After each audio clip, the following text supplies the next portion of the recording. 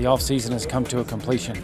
Uh, and now it's time to get to work. And so this is really the last thing on the calendar uh, before we get started with training camp. But it's always good uh, to be around the fellow coaches in the Mid American Conference and get an opportunity to meet uh, some of the players that represent those teams and find out really how good of guys they are. It's always good to like meet people uh, when they don't have the uniform on, don't have the helmet on, and it's a lot of amazing, nice uh, people that's that got to come on the trip. I can't. Uh, the Northern Illinois guy, he's a funny jokester. He was uh, karaoke in the locker room, and like, he just he's just an energetic guy, and um, that's fun to see people off the field without their equipment on. Yeah, let's go.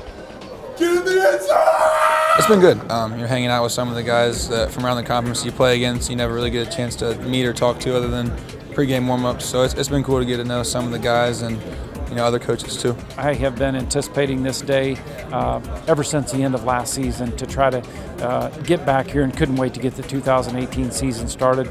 Uh, excited, chomping at the bit. It has been so long since you know me or James have participated in football activities during the season, and uh, you know spring ball is kind of just a, a tease. Really, you don't you know you practice all those times, you never get to play another opponent, so. I think you know, we're both looking forward to getting back into. I've just been taking it one one step at a time where we started at winter condition, then go to spring, then summer, then summer just finished uh, last week. So we got to hit camp next Tuesday and just take it one day at a time, one game at a time, and hopefully we uh, go out with a bang this year.